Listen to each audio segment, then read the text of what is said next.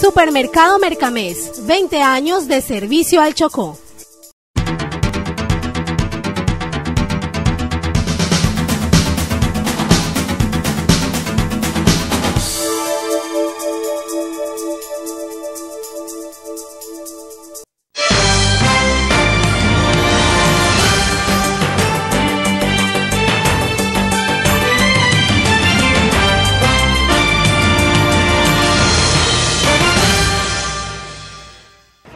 Hoy jueves 11 de diciembre saludamos a todos nuestros televidentes, los que nos siguen a través de nuestras redes sociales y nos ven en nuestra página web www.estrellatelevisión.com y por supuesto en el canal de nuestra gente.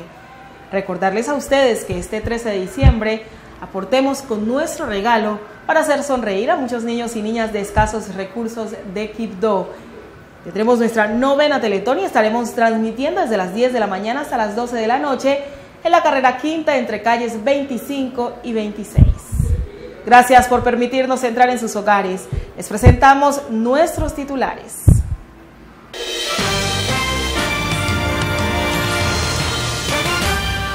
En zona rural de Tado, dos personas resultaron heridas luego de que estallara un artefacto explosivo. Un hombre vagadoseño fue sepultado por alud de tierra.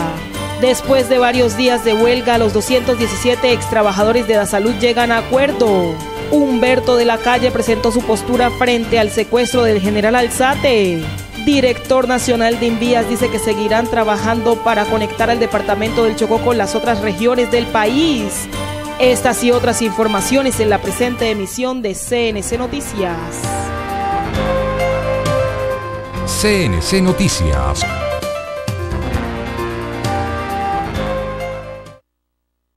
En Charco Negro, zona rural del municipio de Tadó, resultaron heridas dos personas luego de que estallara un artefacto explosivo. Momentos de consternación y pánico se vivieron en la comunidad de Charco Negro, zona rural del municipio de Tadó. Un artefacto ubicado al parecer por guerrilleros del ELN se activó al pie de esa bandera identificando al grupo. La explosión dejó como resultado dos personas heridas. Una de ellas es Sunilda Ramírez, de 32 años de edad, con heridas leves ocasionadas por las esquirlas, y su hijo de 11 años, estudiante de tercero de primaria, que también resultó herido en diferentes partes del cuerpo. Según el relato de Sunilda, ella salió desde su casa a las 8 de la mañana rumbo al colegio. Al llegar a la carretera, iban caminando justo por el lugar donde estaba la bandera del grupo guerrillero. Y su hijo se enredó con uno de los alambres que sobresalían de ella. Al alar dicho objeto, explotó. Agregó que el susto fue tremendo. Las dos personas fueron trasladadas de urgencia en el Hospital San José. Cabe destacar que Ramírez Sánchez y su hijo son oriundos de Santa Rita de Iró y llegaron al municipio de Tadó en condición de desplazamiento hace cuatro años.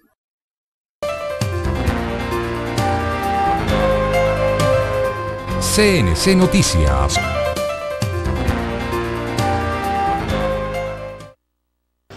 Un joven vagadoseño fue sepultado por una luz de tierra, momentos en los que trabajaba en la minería.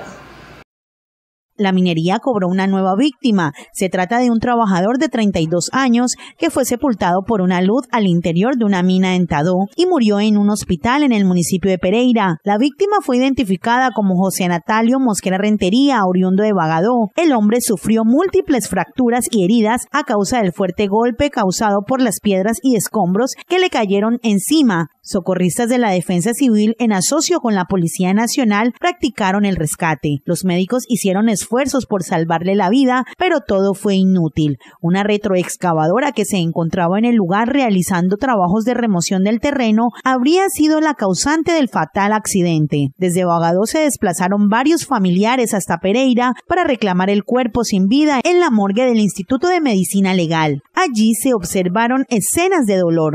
Natalio tenía seis hermanos, todos ellos dedicados a labores del agro y la minería, quienes hoy lamentan la pérdida de su ser querido.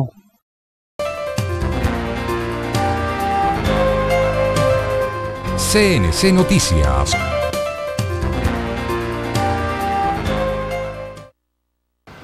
El gobierno nacional a través de Invías viene haciendo seguimiento a los trabajos que se vienen realizando en las vías que de Quibdó conducen a Antioquia e igualmente que de esta capital conducen hasta Risaralda.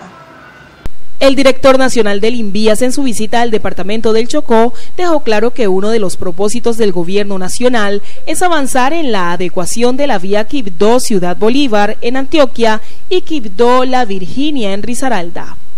Estos son inversiones muy grandes, de verdad que son alrededor de 800 mil millones de pesos, de los cuales medio billón de pesos han sido aportados por el en el primer periodo del presidente Juan Manuel Santos. Y esperamos en ese sí todo el propósito del gobierno nacional de lograr la pavimentación definitiva entre Quigdó hacia el sector de Ciudad Bolívar en el departamento de Antioquia y Quigdó hacia el sector de La Virginia en el departamento de Risaralda. El funcionario muestra su satisfacción pues afirma que se ha venido trabajando por etapas con mucha responsabilidad. La primera fase del tramo eh, Quigdó-Medellín se pudieron pavimentar 25 kilómetros. Nosotros ya se han avanzado 8 kilómetros de esta segunda fase que va hasta el año 2016. Son alrededor eh, de unos 127 kilómetros entre Quigdó hasta llegar a Ciudad Bolívar. Hay 10 kilómetros que por el mejoramiento de la vía se va a recortar la vía, es decir, que finalmente vamos a tener una vía de 117 kilómetros de extensión. Hay unos pavimentos que se han realizado eh, sobre todo en el departamento de Antioquia, pero la idea es poder también mejorar esos tramos y pavimentar todo el corredor vial. Pero las obras se están ejecutando y ustedes pueden, los que han podido recorrer la vía con alguna frecuencia, pues van dándose cuenta que las obras se están haciendo.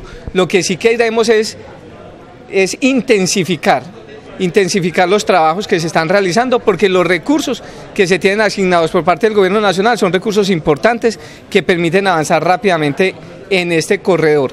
De otro lado tenemos el corredor desde Quigdó hacia la zona del eje cafetero, también hay ahí eh, una fase 2 que tiene recursos hasta el año 2016.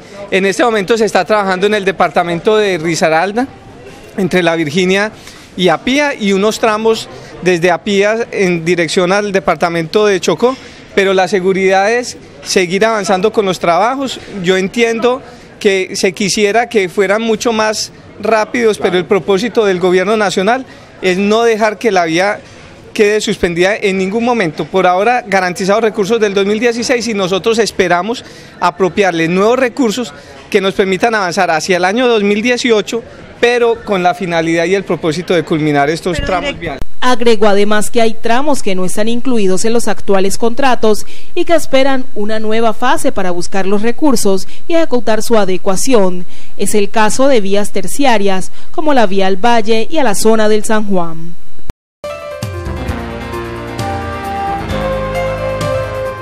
CNC Noticias.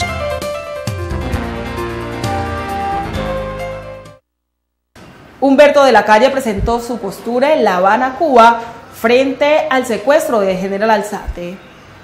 En el Día de los Derechos Humanos y desde el Palacio de las Convenciones de La Habana, Cuba, Humberto de la Calle Lombana dio declaraciones del nuevo ciclo de negociación que se realiza luego de superar el impasse por el plagio del general retirado Rubén Darío Alzate Mora, la abogada Gloria Urrego y el cabo Jorge Rodríguez. Importante recordar esto hoy cuando se celebra el Día Internacional de los Derechos Humanos y también hablamos de la visita de expertas a la subcomisión de género. La mujer ha estado en el vórtice de la victimización, pero es a la vez la correa de transmisión de la reconciliación. De igual modo, se acordó un mecanismo a través de los garantes para evitar crisis futuras. Sin embargo, el caso del general Alzate sigue generando posiciones encontradas sobre lo que verdaderamente pasó el 16 de noviembre en las Mercedes de Quibdó. Nada de esto se ha basado en concesiones oscuras e inaceptables. En un trino reciente, el senador Álvaro Uribe publicó supuestos compromisos exigidos por las FARC para reiniciar las, las conversaciones. Esto ni siquiera fue planteado por las FARC y en todo caso, si lo hubiese sido, no lo hubiésemos aceptado. Si las iniciativas que difunde el trino del senador corresponden al pensamiento de las FARC, este hecho no compromete en absoluto a la delegación del gobierno. Pero es absolutamente inverosímil hablar, por ejemplo, de que vamos a repartir las regalías del petróleo y la minería con las FARC. Es algo absolutamente inverosímil. Y reitero que en todo caso, tales supuestas propuestas no fueron siquiera puestas a nuestra consideración como condiciones para reiniciar el diálogo. De la calle fue enfático en señalar que el camino para Colombia es el debate honesto entre los ciudadanos. Pero nuevamente tenemos que rechazar informaciones falseadas, inverosímiles, carentes de sindéresis, cuyo objetivo único es generar obstáculos al anhelo de paz de los colombianos y negó que el gobierno haya adoptado compromisos con la guerrilla para que se reanudaran los diálogos que fueron suspendidos por orden del presidente Juan Manuel Santos cuando las FARC secuestraron en el departamento del Chocó al general retirado Rubén Darío Alzate.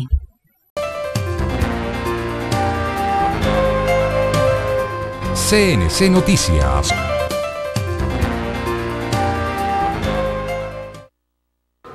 Quédese con nosotros que en contados instantes regresamos con más información aquí en CNC Noticias.